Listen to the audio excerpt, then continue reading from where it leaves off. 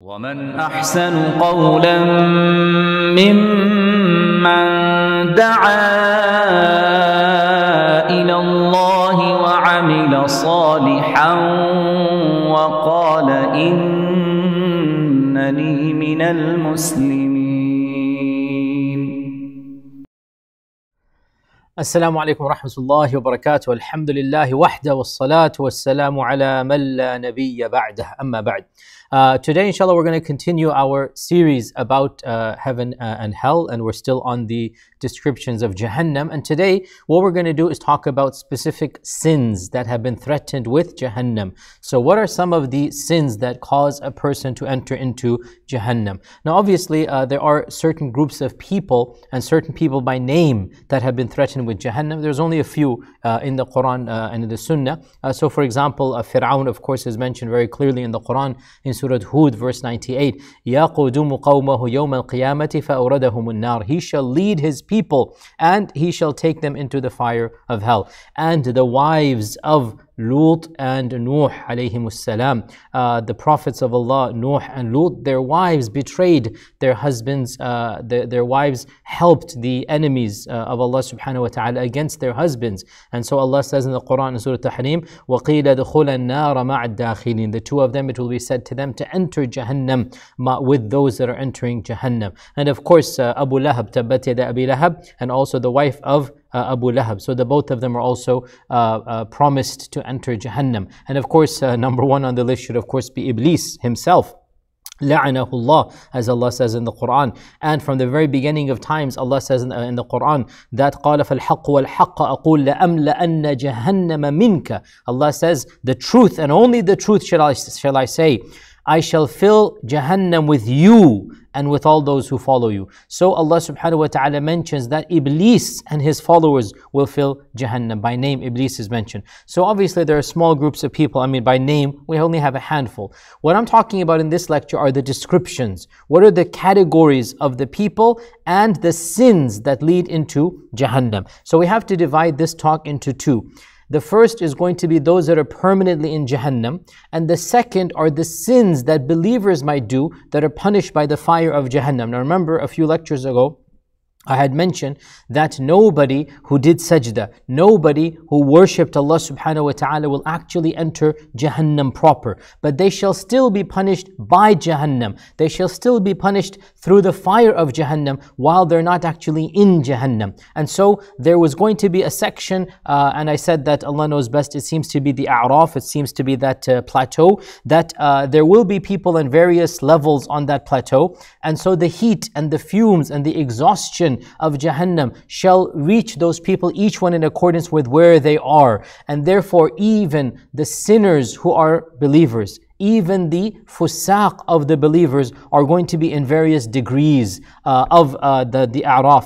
And it seems to be that uh, depending on their piety and their sins, uh, that they're going to be allocated a place on the Araf. So both the time that they're going to remain outside of Jannah and the location that they're going to be punished in will be dependent upon the number of good deeds versus the number of bad deeds. So today we're going to discuss both of these categories. Those that are permanently in Jahannam and then the sins of the believers that have been threatened with uh, Jahannam.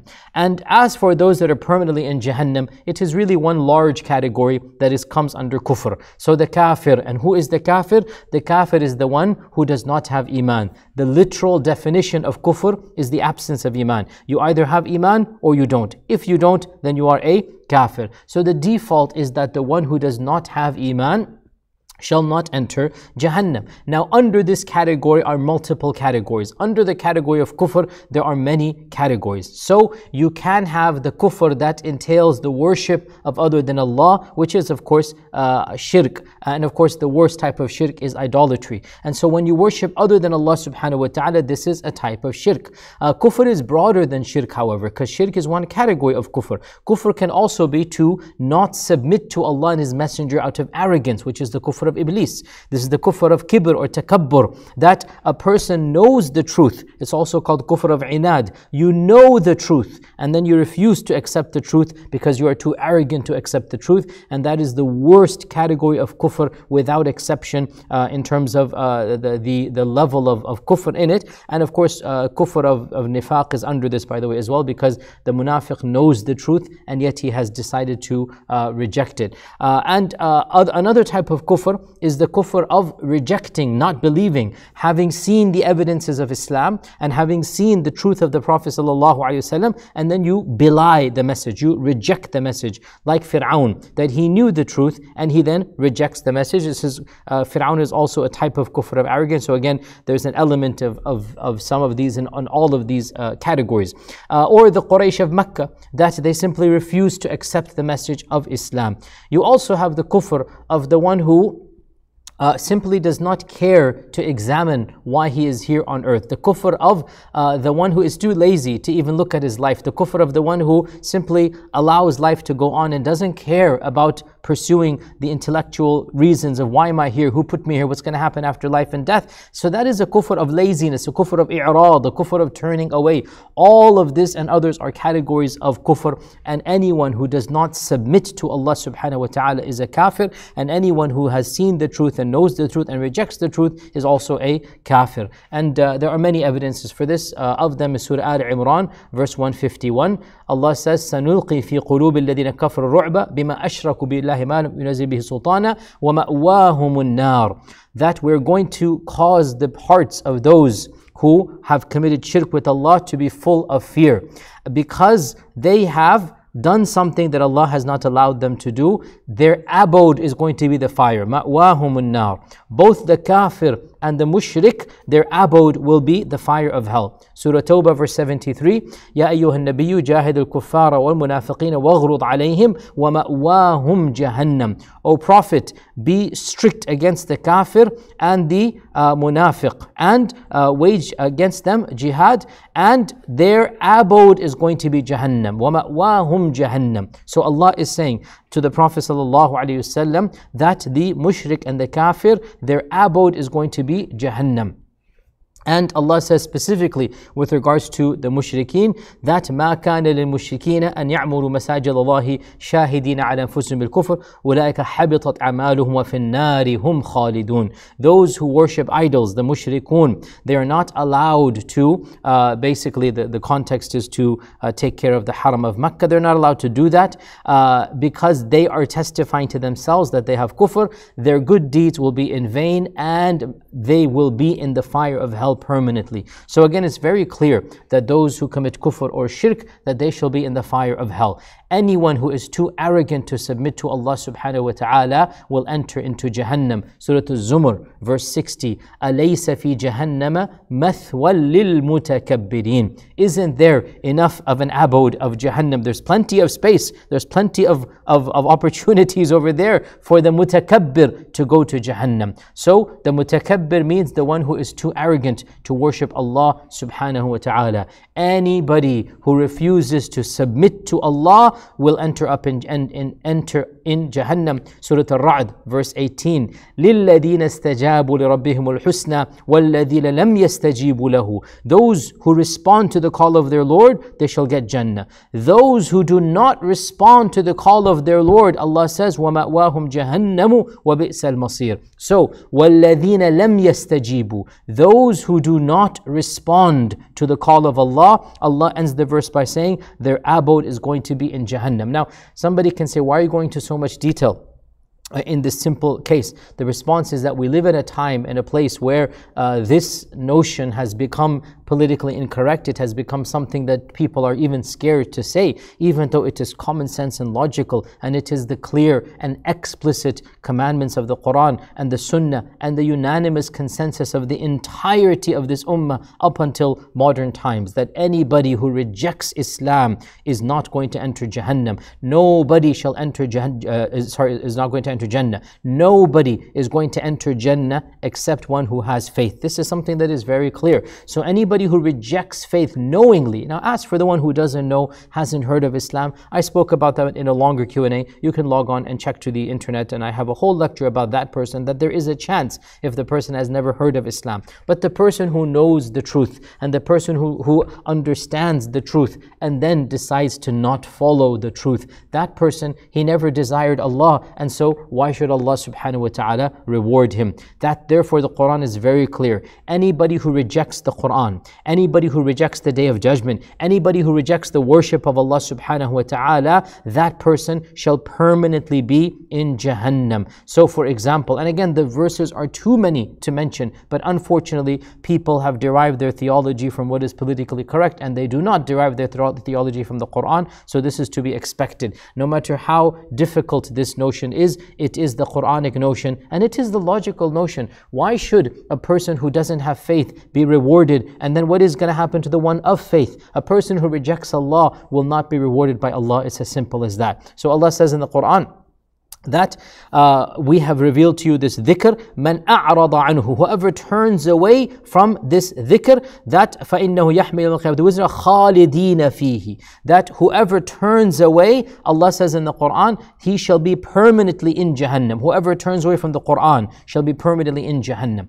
so also uh, Surah Al-Ra'd Allah mentions whoever rejects the day of judgment shall be in Jahannam permanently. So Allah says, وَإِن تَعْجَبْ فَعَجَبٌ قَوْلُهُمْ أَإِذَا كُنَّا تُرَابًا أَإِنَّا لَفِي خَلْقٍ جَدِيدٍ أُولَٰئِكَ الَّذِينَ كَفَرُوا بِرَبِّهِمْ وَأُولَٰئِكَ الْأَغْلَالُ فِي أَعْنَاقِهِمْ وَأُولَٰئِكَ أَصْحَابُ النَّارِ هُمْ فِيهَا خَالِدُونَ I'm purposely choosing verses that link a rejection of the Quran and a rejection of the day of judgment and a rejection of, of belief in heaven and hell and a rejection of the worshipping of Allah explicitly to Jahannam. In Surah Al-Ra'd verse 5, Allah says, anybody who doubts the day of judgment and who mocks the day of judgment, that person, أُولَٰئِكَ أَصْحَابُ النَّارِ هُمْ فِيهَا خَالِدُونَ If you doubt the power of Allah and reject the power of Allah to resurrect you, then you shall be in the fire of hell permanently in it. And in Surah Al-Muddathir, Allah says in the Quran, the angels will ask the believers, How did you end up in Jahannam? And they will respond, لم نكن من المصلين. We did not used to pray. We did not used to feed the poor. We used to waste our time with all those who rejected, uh, uh, you know, Islam. And we used to deny the day of judgment until death came to us. Notice the reason why they're in Jahannam. They refuse to submit. They refuse to worship. They make fun of Islam. They reject the day of judgment. So what is going to happen? Why should the one who doesn't believe in the hereafter be rewarded in the hereafter? Why should the one who didn't spend as a millisecond of their time in this world working for the hereafter be rewarded for the hereafter. It's very simple. You get what you intend. If you intended the hereafter and you worked for the hereafter, you shall get the hereafter. And if you did not intend the hereafter and you only wanted this dunya, well then you will get your dunya, but you will not get the akhirah. Also, the Quran is very clear that uh, social pressure is not an acceptable excuse. That simply because the people of your time and place did something, it's not an excuse in the eyes of Allah subhanahu wa ta'ala. Surah An-Nisa verse 97, Allah says, those people whom the angels, they take their souls and they were uh, committing shirk. Zalimi anfusihim here means committing shirk. Uh, the angels will say to them that what were you doing? Why didn't you worship Allah? And they will say that we were oppressed. Everybody forced us to do this. And so the angels will say, Wasn't the land of Allah vast that you could find another place to worship Allah in? Now, by the way, this applies to those who do not accept Islam because of social pressure.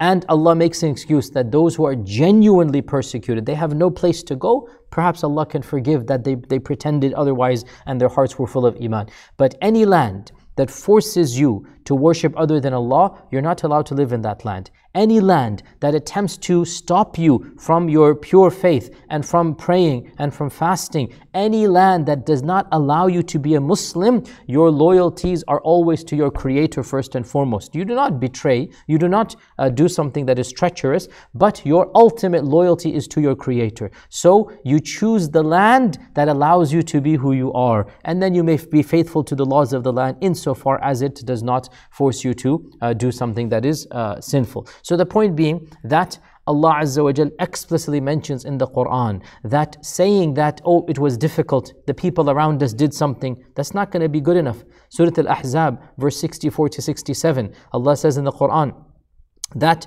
those who uh, have kufr, uh, those that have committed kufr, Allah has cursed them and Allah Azza wa has prepared for them Jahannam and they shall be in it forever. And uh, they will say in Jahannam, Woe to us! How we wish we had followed Allah and His Messenger. Woe to us. Instead, we followed قالوا ربنا إن إنا أطعنا سادتنا وكبراءنا فأضلونا السبيلا.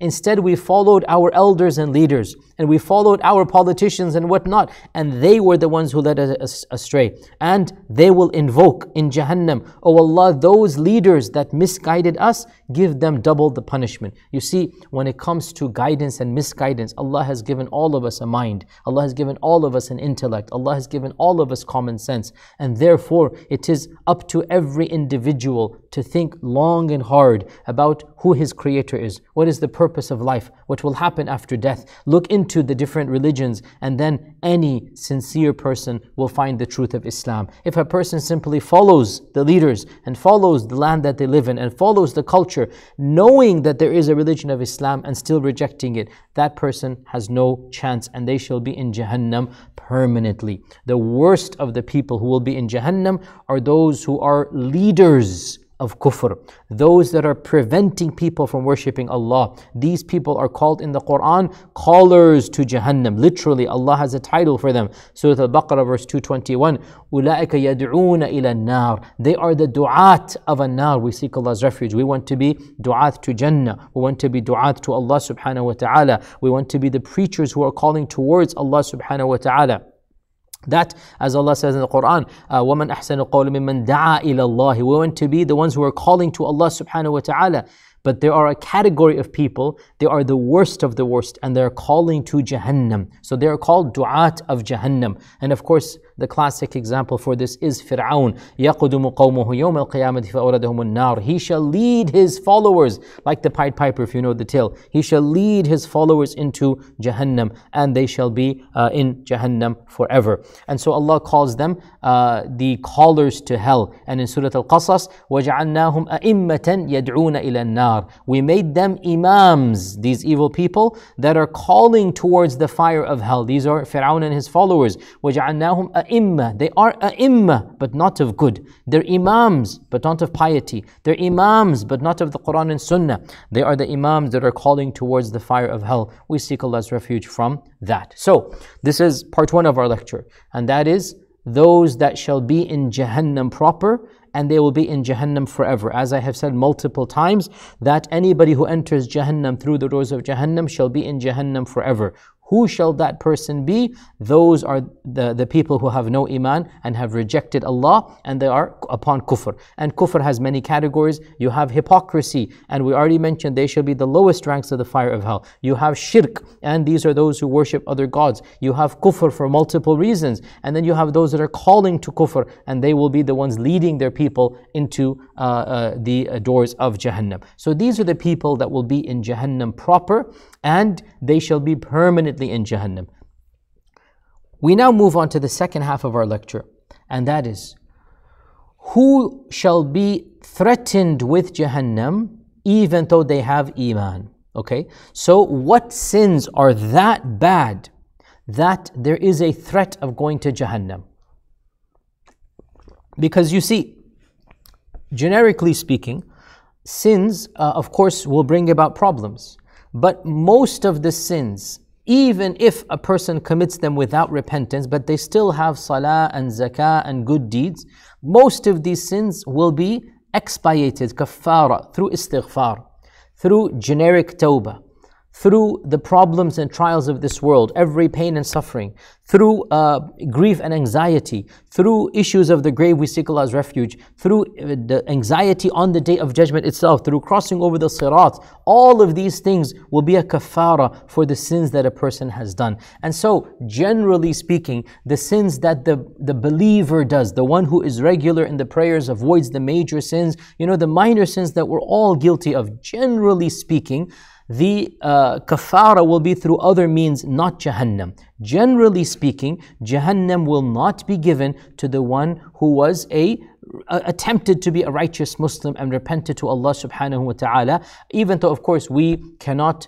uh, state with certainty that any individual has reached that level. This should not cause us to be arrogant, but it should cause us to be hopeful. That Allah says in the Quran, إن تجتنبوا كبائر ما تنهون عنه نكفر عنكم سيئاتكم وندخلكم مدخلا كريما. That if you avoid the major sins, then we shall forgive the minor ones and cause you to enter a noble abode which is Jannah. So, generally speaking, the sins that we do on a daily basis that we should not do, we shall be uh, not necessarily just forgiven scot free, but even if something happens, it's not going to be Jahannam. So, uh, and Ibn Taymiyyah mentions the 10 ways that sins are forgiven and punished, uh, and uh, I, give, I, have given a longer talk about that. You can find that online. So, what we're worried about now in the next you know 20, 20 minutes or so, what we want to discuss is what are those sins that are so heinous, so vulgar, so evil that people have been threatened with Jahannam just for those sins.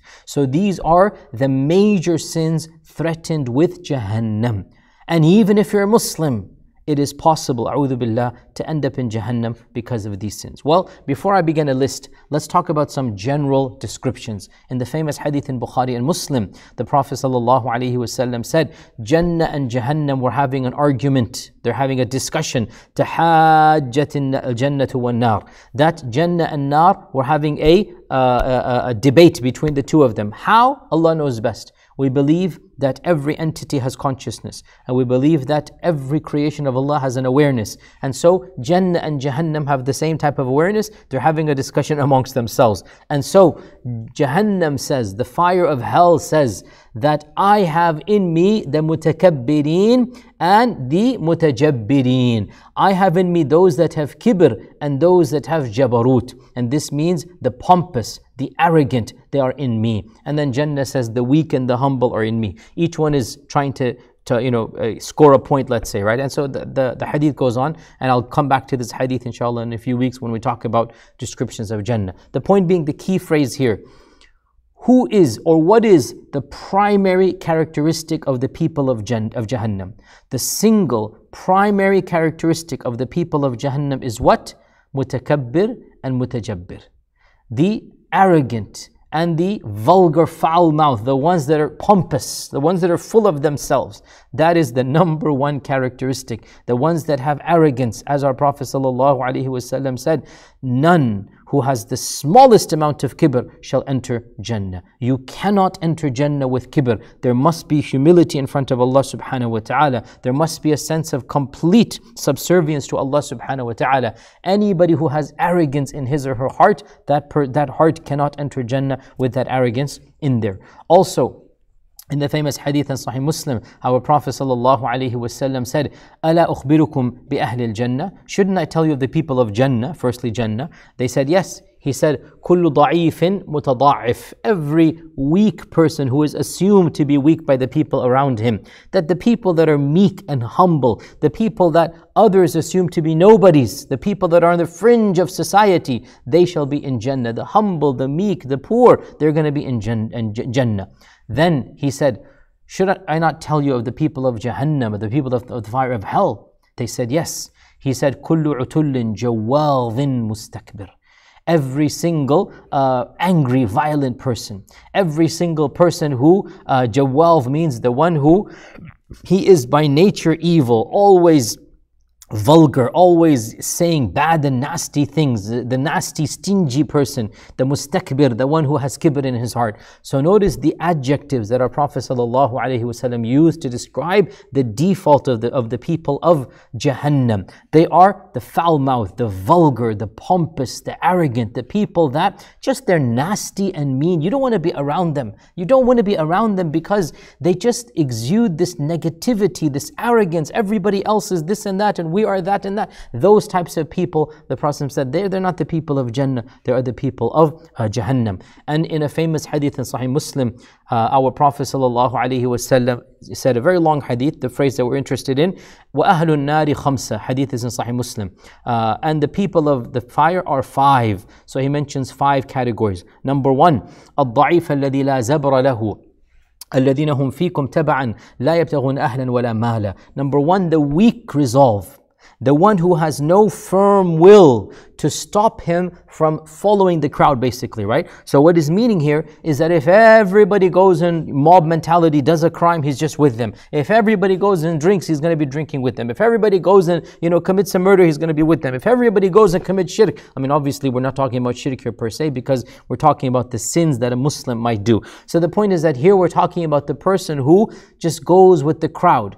And the Prophet ﷺ said that, uh, uh, the, that he doesn't seem to care about even his money and his family. Now, how you translate this phrase, there's a bit of a, a you know difference of opinion. So the way I'm translating here is that the one of weak resolve, he just follows the crowd without having the courage to to go against, so much so that even his family and wealth become secondary. He doesn't care about the safety of his family, he doesn't care about his money. He will just do whatever he wants to go with the crowd to appease people that will not help him on the day of judgment. So we have the first category, which is the weak resolve, simply seeing the whiff of a desire and he will follow it. Number two, the Prophet ﷺ said, the kha'in, the dishonest person whose greed cannot be concealed. He is so greedy that lahu tama'. The Prophet said he is so greedy just for any penny earned, however he earns it, he doesn't care that no matter how small it might be, uh, the, the amount that he wants to, uh, to be greedy for, he's going to be dishonest to get that. So we have here,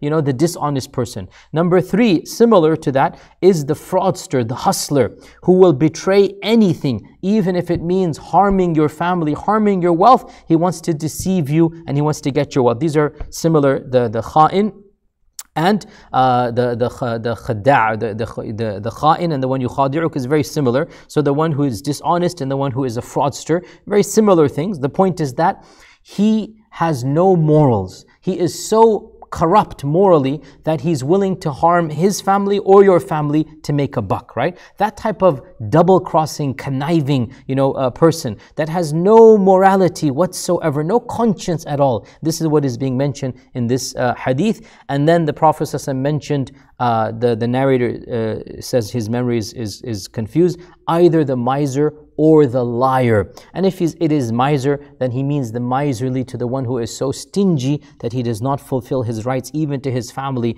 and to the zakat is not given. And the liar, uh, the one who is constantly lying, the one who is always double crossing. You cannot trust him at all. And then the final thing that is mentioned is uh, the ashamdhir, and this is a very obscure word, it hardly occurs. And this means uh, it has been narrated in the hadith itself, it is translated or it is explained uh, in the hadith itself that it is the one who is foul mouth, the one who is vulgar, the one who is constantly just saying nasty things about other people. You know, he is lying, slandering, vulgarities come. So his mouth is so disgusting that nobody wants to be around him.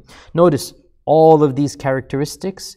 You don't even have to be a Muslim to not like this person humanity despises every one of these characteristics. Humanity despises every one of these characteristics. Now, these are generic descriptions of the people of Jahannam. What we get is that the one whose character, who doesn't have a conscience, who doesn't have humility, the one who is just a foul-mouthed, arrogant, you know, vulgar person, that is the generic characteristic. We now have a list of sins that we're going to conclude our uh, lecture with. And uh, this is not an exhaustive list because, again, it goes to how you want to interpret various ahadith. I try to stick with those ahadith and those verses that literally link the sin to the fire of hell. There are sins that are linked to Allah's la'na, there are sins that are linked to Allah's ghadab, and that's also a very important list. Today I wanted to restrict that those sins that specifically mention the fire of hell as a potential punishment. And we should always remember that these sins do not mean that the person who does them will inevitably end up in Jahannam. No, the doors of repentance are always open. Every one of these sins can be forgiven if the person turns to Allah and turns over a new leaf. As well, these sins may be forgiven uh, if Allah wants them to be forgiven for whatever reason. It is possible that one good deed that a man does is so pure, so good that Allah accepts it and causes an entire lifetime of sins, including some of these, to be forgiven. So we never give up hope of Allah's mercy. We never give up hope of Allah's rahmah. We are always optimistic. Nonetheless, we should be extra careful of these particular sins. The first of these is to have beliefs that go against uh, the correct beliefs of Islam. So, to have uh, what is called deviations, uh, and uh, these deviations, of course, I have spoken about this in another long lecture. This is the famous hadith of the 73 groups and whatnot. And we have to be careful here that we don't make the saved group to be a very narrow group of people, of just 5, 10 people in the world. The saved group uh, is the largest group of Muslims on earth. The generic belief of Islam, the six pillars of Islam, anybody who believes in Allah subhanahu wa ta'ala and the prophets and the books and the day of judgment and the, uh, uh, the uh, concept of qadr and belief in heaven and hell. Anybody who believes in the six pillars and who respects the Quran and Sunnah and respects the Sahaba, this is the general mainstream of Islam. And inshaAllah ta'ala, they are upon a lot of good and they are att- attempting to be with the jama'ah of the Muslims, alhamdulillah. The differences that might happen after this, generally speaking, are trivial. And we should not cr- create animosity and hatred and tension between mainstream uh, versions of Islam that respect the Sunnah of the Prophet ﷺ. And as for those that reject uh, the Sunnah or they have other interpretations, there is no doubt that that is problematic and they are under threat of punishment. This does not mean that they will enter Jahannam. It simply means that some of the ideologies that are held are so nasty, if you like, or so evil that there is a potential to be threatened by Allah subhanahu wa ta'ala simply for holding that belief. And so, no doubt, I mean, the, the one who has very evil uh, ideas of, let's say, our mothers or let's say the Sahaba, Abu Bakr, Umar, anhu, that's not good at all. And it is possible that that person might be punished for that belief. Now, I have spoken about the hadith of the 70 through 73 and sectarianism, and this I have spoken about this in many, many lectures. So please listen to those lectures. We are trying to be very fair to our texts. Uh, at the same time, we are very careful about creating sectarianism. We have to have that healthy balance. I firmly believe that mainstream uh, Islam in which the Quran and Sunnah is followed based upon the respect of the Sahaba, that this is the correct understanding of Islam. And I firmly believe that other uh, understandings of Islam are mistaken. That does not mean that we preach takfir, billah, that they are not kafir, the 72 groups. It also does not mean that we create sectarianism and hatred. There's a time and a place and a language and an audience to discuss the differences between the Muslim sects and the Muslim schisms and groups. Uh, and we speak generically and also, Allah forgives the average person who doesn't have any knowledge, who just, um, uh, as long as they're Muslims. Again, somebody can say, You just said that the average person is uh, following the crowd is not forgiven. The average person who worships an idol is not going to be forgiven. But the average person who worships Allah subhanahu wa ta'ala and then falls into a mistake within Islam cannot be compared to the one who worships an idol. There is a world of a difference. And so all of these 73 groups are within Islam. They're all Muslim and they will all eventually end up in Jannah. Some might be punished in some might be punished in Jahannam, and Allah is Ghafoor and Rahim. So this is the first category. So we have to make sure our theology is is correct. At the same time, we have to be careful about becoming so obsessed with abstract concepts of theology that we neglect basic Islamic tenets such as mercy and tenderness and compassion and kindness. Middle balance always.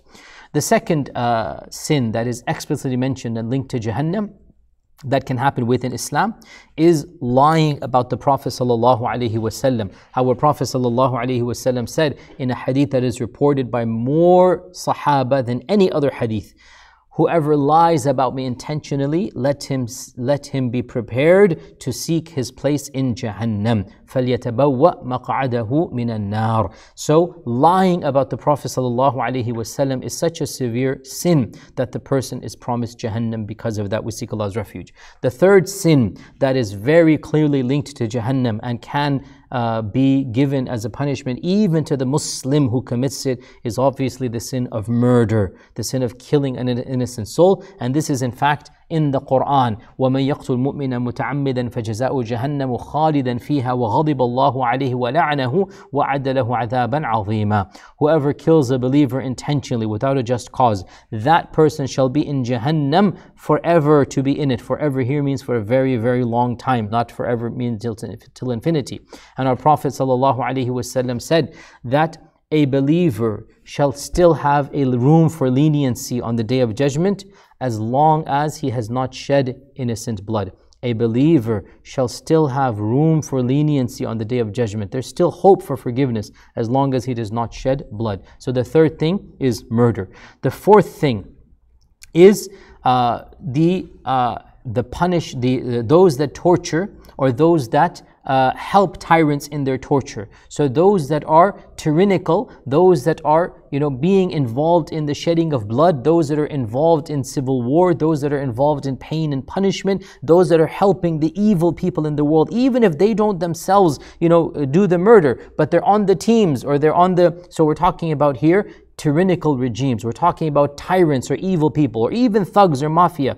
If you're helping those evil people, even if you don't pick up the gun or you don't pick up the whip yourself, but you're in those groups and movements and in those regimes, then uh, Allah, Allah help you because this is you are you are literally risking going to Jahannam. There's nothing we can do about this. Allah says in the Quran, Surah Hud, verse 113, وَلَا تَرْكَنُوا إِلَى الَّذِينَ ظَلَمُوا فَتَمَسَّكُمُ النَّارِ That do not uh, lean towards, don't even have your heart leaning towards them. Don't even have sympathy towards those that are causing dhulm in this world, or else the fire of hell will touch you. And our Prophet ﷺ said, in the famous hadith in Bukhari and Muslim, two groups of people. From the people of Jahannam, they are from my ummah, and I have not seen them. Notice he says, from my ummah, and I have not seen them yet. Number one, the first category is that there's going to be groups of people that they're going to have whips like the tails of cows, and they're going to be going around hitting and beating people with. Now, our scholars have interpreted this to mean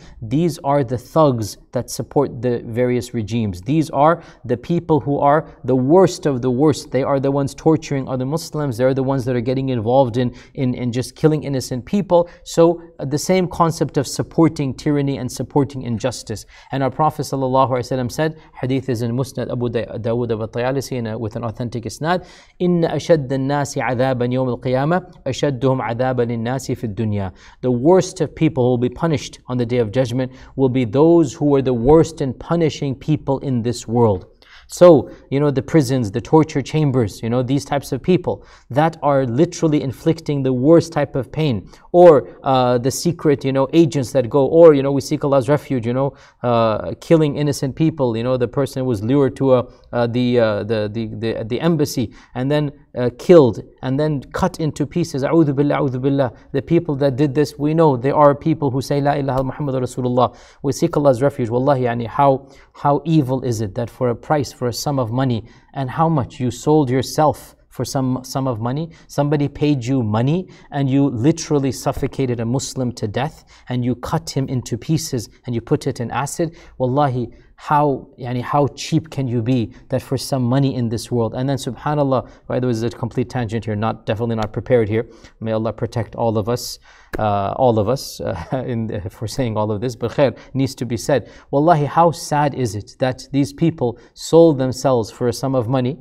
and Allah humiliated them in this world before the hereafter. We don't know what's going to happen in the hereafter, but even in this world, their names and pictures were posted everywhere. How do you think their families feel? How do you think their friends feel? How do you think now, subhanAllah, because this is the sunnah of Allah in His creation, that when you do something of this nature, they thought they had the protection of this regime and they had the protection of, you know, the powerful princes behind them.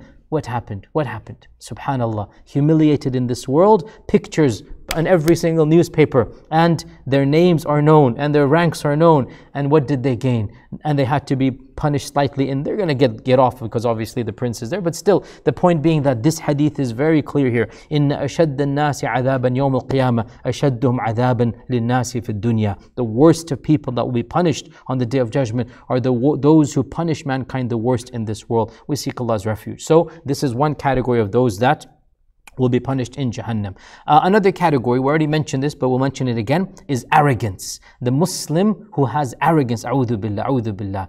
Nobody should have arrogance in their heart. Arrogance should be eliminated from the heart. And this is manifested in many ways. For example, uh, the famous hadith of the one who lowers his pants. We talked about this in a fiqh ways. The meaning of the lowering of the pants here, in those days, it was done, the lowering of the garment, it was done as a sign of arrogance that I am rich and I can flaunt the goods that I have. If somebody lowers without arrogance. I already gave the long lecture that pretty much uh, the majority of the scholars do not consider that to be uh, haram. But uh, the, the one who, for example, does this out of arrogance, the sin is the arrogance, not the lowering of the pants. Also, Umm Salama, for example, said the Prophet ﷺ said that the one who drinks from utensils of gold and silver, that person it is as if he is drinking the fire of hell into him. Now, who drinks from utensils of gold and silver? What is the purpose? It's not the utensil, once again, primarily it is the arrogance, right? You show off you show who people that you're gonna have a full goblet of gold and you'll be drinking from that goblet, or you're gonna be having something made out of complete gold and silver. The point is the showing off. And our Prophet ﷺ said, anybody who has an atom's weight of kibr shall not enter uh, Jannah. Uh, another category that is promised with Jahannam, we, we seek Allah's refuge. Category number six in our list here is those people that are charging riba. Notice charging riba is the major sin. As for taking riba, it is definitely a sin, but not to the same level as charging riba. And I've spoken about this in other lectures, you can listen to it. But charging riba, giving somebody a loan and then saying, I want more back. Or any type of defrauding of the people from their money, using tricks to take people's money unjustly. A'udhu billah. This category is promised with Jahannam. Ya ayyuhalladhina amanu. Allah says Surah An-Nisa verse 29. لا تأكلوا أموالكم بينكم بالباطل إلا أن تكون تجارة عن تراض منكم. That do not eat uh, your wealth with batil, with unjustness, except if it is by, by, willingness that you both want to do the exchange, yes. But if you do it with batil, Allah says, وَمَنْ يَفْعَلْ ذَلِكَ عُدْوَانًا وَظُلْمًا فَسَوْفَ نُصْلِهِ نَارًا Whoever does this, uh, you know, out of dhulm and arrogance will go enter the fire of hell. And our Prophet ﷺ said, كُلُّ جَسَدٍ نَبَتَ مِنْ سُحْدٍ فَالنَّارُ أَوْلَى بِهِ Every flesh and body that is fed with suht, and suht is the wealth or the money that is acquired illegally. Okay, suh means the money that you cheat people out of. So every flesh or body that is fed with suht, our Prophet said, it is more befitting that that body goes to the fire of hell. So, O people who are defrauding innocent people, O people who are tricking the community, O people who are setting up businesses that are false, O people that just want to make a quick buck and you're selling something that is not real, or you know you're intentionally defrauding people of their money. A'udhu billah. Repent to Allah subhanahu wa ta'ala before it is too late. Repent to Allah before you have to answer to Allah for your crime of taking the money of innocent people and pocketing it, knowing full well that you are lying to them and deceiving them. That is one of the major sins in Islam. And our Prophet, the Quran itself says that you will enter up in Jahannam if you continue in this path. Also, one of the things that Allah has mentioned in the Quran and our Prophet has mentioned as well as being a major crime is that of taking one's own life. In the same verse, Surah An-Nisa, Allah says, وَلَا تَقْتُلُوا أَنفُسَكُمْ إِنَّ اللَّهَ كَانَ بِكُمْ رَحِيمًا do not kill yourselves. Allah is ever merciful. However, whoever intentionally does so, they shall end up in Jahannam. And our Prophet ﷺ said that whoever cut himself with a knife, that knife will be in his hand, and he shall continue to cut himself forever and ever in the fire of hell. Whoever takes poison, he shall have the goblet of poison. He shall continue to drink it forever and ever in Jahannam. Whoever throws himself off from the cliff shall be throwing himself off from the cliffs of Jahannam forever and ever. So the point being that. Uh, uh, the one who takes his own life, that person has been threatened with Jahannam. Obviously, Allah is always forgiving and merciful. Obviously, if that this has happened in uh, uh, your acquaintances or friends, we seek Allah's protection and, and, refuge. Do not give up hope of Allah's mercy. Make dua for that person. Make dua for the Muslim who even dies in this death. This is a warning to the living. As for the one who has passed away in this manner, we ask Allah's forgiveness to the family and friends, but we need to warn other people to not do this, right? So that's the delicate balance over there. Anybody who's going through, you know, depression or thoughts of suicide, seek help and seek help from Allah subhanahu wa ta'ala through sabr and dua and seek help from family and friends and seek help from therapists. And also there should be an element of fear that we place in this person that, hey, whatever is happening, however bad life is, you cannot take your own life because that will have repercussions or potential repercussions. So we need to keep these hadith in context and realize as well we have an authentic hadith, authentic hadith of a particular sahabi. Again, this is not the time to go there. He actually did commit suicide and yet still uh, he ended up in Jannah because Allah forgave him. So again, we have to balance. Again, I'm saying this from the beginning, dear brothers and sisters. These ahadith are threats. The purpose of the threat is to frighten us. But individually, it is possible that Allah might forgive somebody because of a good deed, right? So we differentiate between making sure we threaten people. Hey, you who's stealing money, you better be careful. You might end up in Jahannam. It is possible that that particular person repents to Allah later on in life and turns over a new leaf and does good deeds and perhaps is forgiven. That doesn't change the fact we're going to get angry at him. This doesn't change the fact we will threaten that person. How dare you do that? So the two are separate things. We speak in this world, Allah will judge in the hereafter. We threaten with Allah's punishment in this world, but we have no right to execute Allah's punishment. We simply threaten generically speaking. Threaten by generics, not specifics. Generics mean you should not commit suicide. Generics mean you should not defraud people. We can never say to an individual person, you are going to end up in Jahannam because you defrauded a person. You don't know. That's not for you to judge. We can say it is possible you might end up in Jahannam, or Allah has threatened the one who defrauds people to end up in Jahannam. So that's the point over here.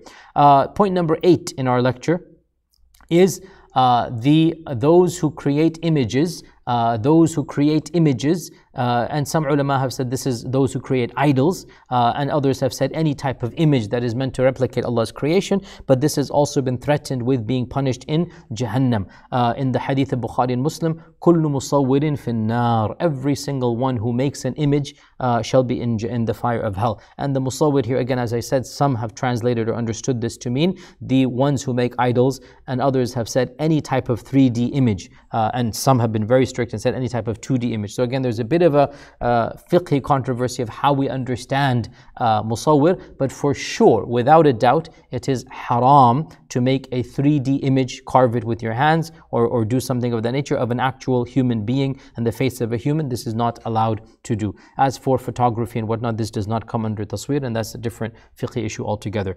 Uh, the ninth thing that I'll mention in this list, and again, I'll remind you, it's not an exhaustive list. The ninth thing that I will mention is the Prophet explicitly mentioned that one category that will end up in Jahannam, very interesting, those who tortured animals those who tortured animals. The Prophet ﷺ said, I saw the fire of hell, and in it I saw a lady that tortured her cat to death, that she locked it up, and neither did she allow it to find its own food, nor did she provide it food until it starved to death. And so that cat is constantly scratching her in the fire of hell. And uh, in the hadith in Nasa'i, the Prophet ﷺ said, Allah's curse is on the one who uh, بالحيوان here here it means mutilates an animal so mutilates is a type of torturing here so the point being that think about it think about the mindset of somebody who's going to kill an animal, torture an animal. Think about the mindset of somebody who, a'udhu billah, yani just throws a cat off the roof, let's say, or something of this nature. How,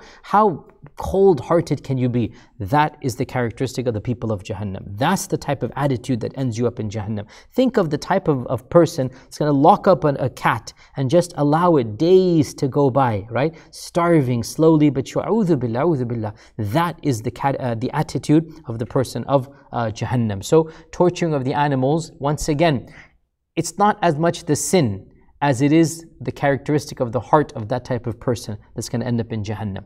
Also, of the things that we have mentioned that will lead to Jahannam, uh, remember I mentioned the hadith of the Prophet ﷺ, the two categories of people, I haven't seen them and they will, uh, you know, not enter Jannah. Uh, so the second category will be, he said, uh, that ladies that are kasiyatin, ariyatin, ma'ilatin, mumilatin, that they are scantily clad uh, and they are seducing and enticing other people. And this hadith uh, requires a longer discussion, but uh, it is there. It is Bukhari and Muslim. It's an authentic hadith. And notice here, this is not the individual sin that a man or woman does in the privacy of their houses. This is not something that flirtation or even zina.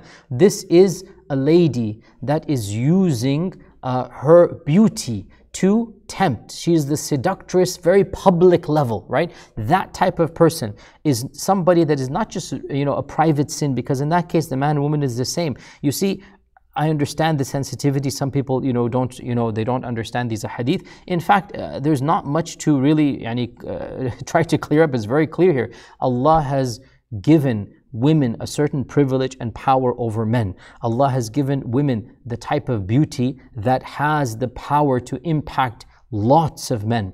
If a beautiful lady chooses to undress herself in a manner that is flaunting her beauty in front of large groups of people, this is not the private sin that is happening behind closed doors. Remember, the, the, he, the Prophet is saying, is, saying that ma'ilatin mumilat. She is causing lots of people, right, to be attracted to her. In other words, and we seek Allah's refuge, but imagine, you know, the one that is selling her body online. That type of person that she's misleading, misguiding lots of people, even though she might be one person. And look, this is the reality that Allah has created men and women differently, and the bodies of women have certain powers over men. All you have to do is, you know, look at the world around you in a metaphorical way, and you see this is the reality. So that lady that chooses to go down this path, and to earn some money, let's say, by doing something of this nature. So the, the hadith is clear that she has done something that is destructive to society and it is very, very uh, problematic. Um, also, we have uh, as well uh, of, of, the characteristics of those that are going to enter, or the, the sins that will enter Jahannam, we seek Allah's refuge, is the one who uses the name of Allah in vain, who gives a solemn oath and he uses Allah's name, the qasam he gives it, but he does it for a reason that is haram, that is wrong, that is actually a sin. So the one who has so little iman that he can give a qasam by Allah, put his hand on the Quran, a'udhu billah, a'udhu billah, and then lie, a'udhu billah. Or he uses Allah's name, wallahi, and then he lies, and he does it for some measly sum of this world. Once again, a'udhu billah, that is a sin that is promised uh, Jahannam. So our Prophet sallallahu alaihi wasallam said, من اقتطع حق امرئ مسلم بيمينه فقد أوجب الله له النار وحرم عليه الجنة. Whoever takes the right of his brother by using the name of Allah in a false oath, right? Allah Azza wa has made the fire of hell obligatory on that person and caused Jannah to be haram. So uh, the Prophet, uh, the man said, that, O Messenger of Allah, what if the oath was for something small, something trivial?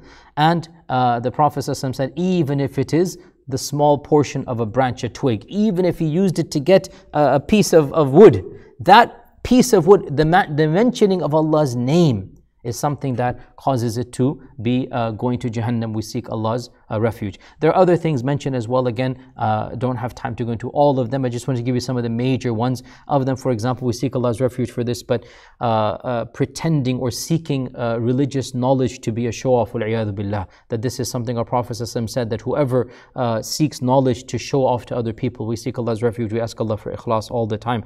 That we ask Allah for ikhlas for all that we do. But the one who intentionally enters this realm and he wants to just become the show for the sake of his ego and fame, and he uses the religion to become famous, a'udhu billah, that person also we seek Allah's refuge, he has been threatened with the uh, fire of hell. And also, for example, one category should be mentioned as well, uh, that our Prophet said, uh, that, uh, and we'll conclude, conclude with this hadith, that uh, three are the people that Allah has made Jannah haram for.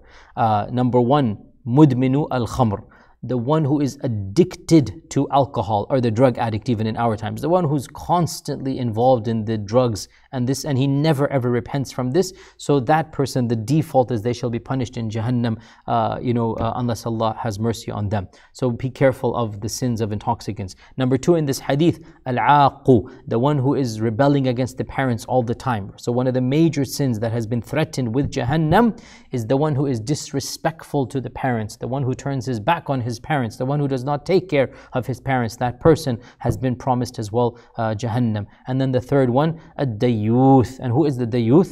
Uh, the, youth is the one who, uh, billah, he is the man or even the woman, but primarily in case happens in the man, who uh, allows other people to enjoy his billah, his his his wife or doesn't care about uh, other men uh, being with his his family or something billah from that. But that is the one that has been promised uh, jahannam as well. So these are some ahadith and again this is not an exhaustive list but this inshallah covers the main most important ones about uh, the sins that are linked with jahannam. Please go over this list and make sure that none of these is ever in our lives. If anybody is guilty of any of these sins, repent, dear Muslim, because the door of repentance is always open. May Allah subhanahu wa ta'ala forgive our sins. May Allah Azza wa Jal cause us to avoid every one of these kaba'ir. May Allah subhanahu wa ta'ala grant us ikhlas al qawl and amal. May Allah Azza wa Jal grant us humility and humbleness. May Allah grant us pure hearts. May Allah subhanahu wa ta'ala save us and our families from any of these major sins.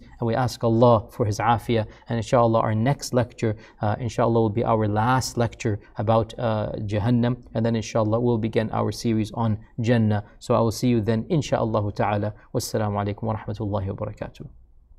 واذكروا الله في أيام معدودات فمن تعجل في يومين فلا إثم عليه ومن تأخر فلا إثم عليه لمن اتقى واتقوا الله واعلموا أنكم إليه تحشرون.